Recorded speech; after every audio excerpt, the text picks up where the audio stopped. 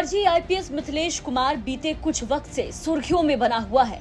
वर्दी पहने, खुद को आईपीएस बताने वाले मिथिलेश कुमार की एक एक कहानी सबको खूब चौंका रही है। पहले मिथिलेश ने इस पूरे मामले में खुद को मासूम बताकर खुद को ठगी का पीड़ित बताया और मीडिया और पुलिस के सामने फर्जी आईपीएस बनने के पीछे की पूरी कहानी बताने लगा, जिसमें बताया गया कि बेचारा मासूम मिथिलेश किसी मनोज नाम के ठग के जाल में फंस गया और ठगी का शिकार हो गया। और पुलिस ने मिथिलेश पर भरोसा जताया, उसे छोड़ दिया। फिर जेल से बाहर आने के बाद फर्जी आईपीएस मिथिलेश फिर मीडिया के सामने आया। और नकली से असली आईपीएस बनकर सबको दिखाने की कसम खा ली। लेकिन इसके कुछ ही दिन बाद असली आईपीएस बनने का सपना देखने वाला मिथिलेश यूट्यूब कलाकार बनकर सामने आ गया और एक बार फिर से सबको चौंका डाला। फर्जी आईपीएस पर गाना लेकर आ गया और अब इस पूरे घटनाक्रम के बाद पुलिस ने मिथिलेश के बारे में जो खुलासा किया, उसने सबको चौंका दिया। पुलिस के छानबीन में पता लगा कि फर्जी नाम से वायरल हुआ मिथिलेश कुमार बड़ा खिलाड़ी निकला। उसने सभी को अपनी बातों से और मासूम शक्ल से ज़बरदस्त चूना लगा डाला। जी हाँ मिथिलेश की जिस कहानी को अब तक आप सब सुनकर तरस खाते नज़र आ रहे थे। असल में वो कहानी ही फर्जी निकली और जमुई एस ने पूरे मामले को लेकर बड़ा खुलासा करते हुए बताया कि मिथिलेश कुमार की सारी कहानी झूठी और मनगढ़ंत थी।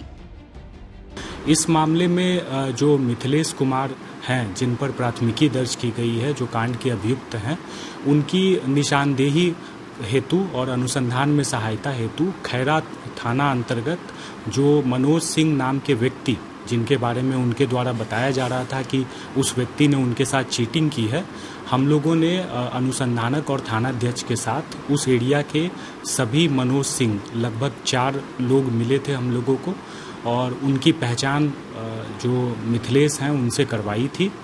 मिथिलेश के द्वारा उन चारों में से किसी की भी पहचान उस व्यक्ति के रूप में नहीं की गई है जिससे उन्होंने पैसे देकर फर्जी आईपीएस का ये वर्दी ली थी।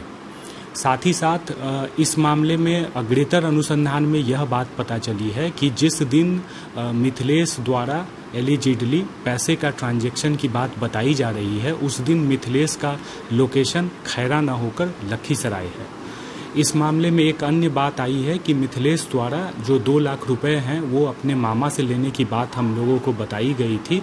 परंतु उसके मामा से पुलिस की जो पूछताछ है, उसमें उसके मामा द्वारा ऐसे किसी भी दो लाख रुपए एक मुश्त भुगतान की बात से इनकार किया गया है। मिथिलेश द्वारा पूछताछ के क्रम में दो नंबर दिए गए थे और बताया गया था कि वे दोनों नंबर मनोज सिंह के हैं। पुलिस द्वारा उन दोनों नंबरों के सत्यापन में वे दोनों नंबर इनएक्टिव पाए गए हैं। इस प्रकार अब तक के जो अनुसंधान हैं, उसमें ऐसे किसी भी व्यक्ति, मनोज सिंह का, के संबंध में किसी भी तरीके का कोई पुलिस को लाभदायक सूत्र नहीं मिल पाया है। पुलिस को जो अनुसंधान में जो वैज्ञानिक दृष्टिकोण से साबित करने के लायक जो साक्ष्य होने चाहिए, वो अब तक उपलब्ध नहीं हुए हैं। इस परिस्थिति में हम लोग यह मान रहे हैं कि इस घटना में जो बातें मिथिलेश के द्वारा बताई जा रही हैं, वो तथ्य से परे हैं। अब पुलिस के इस खुलासे ने सबको सख्ते में डाल दिया है। वहीं दूसरी तरफ़ फर्जी आईपीएस मिथिलेश कुमार की मुश्किलें बढ़ती हुई नज़र आ रही है। अपनी झूठी कहानी के कारण मिथिलेश कुमार पर अब गिरफ्तारी की तलवार भी लटक रही है। पुलिस ने इस पूरे मामले में अपनी छानबीन और तेज कर दी है। देखना होगा कि पुलिस जाँच में आगे क्या पाया जाता है और मिथिलेश कुमार का आगे क्या होता है। जमुई से राकेश सिंह की रिपोर्ट बिहार तक।